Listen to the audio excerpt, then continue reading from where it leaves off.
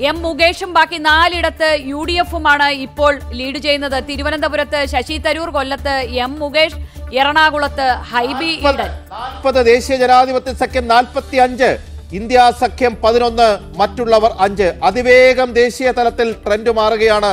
നാൽപ്പത്തി അഞ്ച് പതിനഞ്ച് അഞ്ച്. നാൽപ്പത്തി അഞ്ചിടങ്ങളിൽ എൻ ഡി എ. മോദിക്ക് മൂന്നാം മൂഴം എന്നാണ് ഇപ്പോൾ കാണുന്ന ട്രെൻഡ് ഇന്ത്യ സഖ്യത്തിന് പതിനഞ്ച് സീറ്റ് ലീഡ് കിട്ടുന്നുണ്ട്. ബാക്കിയുള്ളവർക്ക് അഞ്ച് സീറ്റുകളിലാണ് ഇപ്പോൾ ലീഡുള്ളത്. കേരളത്തിൽ അഞ്ച് സീറ്റുകളിലെ ഫലസൂചനകൾ വരുമ്പോൾ ഒരിടത്ത് എൽ ഡി എഫും നാലിടത്ത് യു ഡി എഫുമാണ് മുന്നിൽ നിൽക്കുന്നത്. എൻ ഡി എ എവിടെയെങ്കിലും